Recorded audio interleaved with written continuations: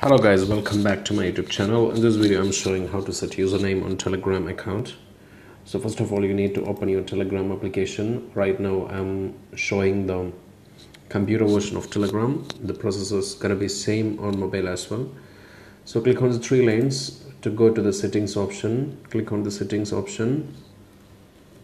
And under the settings you will get a window like this so click on edit profile and under the edit profile option you have in the bottom you have option like add username.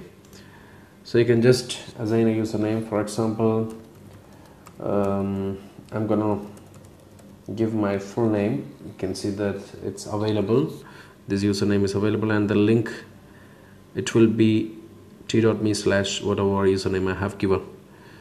So just confirm the username after you have set and uh, you make sure that the username is available. Click on save. Now you can see that already I have got the username on my telegram account.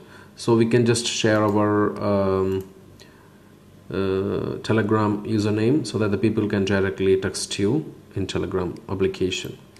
And you can even change the application. For example um, Muhammad Shamir 93 or something if in case suppose um, Shamir this already occupied. So I don't I need this name to be available and so I'm just adding some of the digits like year of birth or something so that uh, that name will be available. So this this is how you can change your username. So i believe this video was helpful guys. Uh, thank you for watching. Subscribe the channel. Click the bell icon for notification take care. Goodbye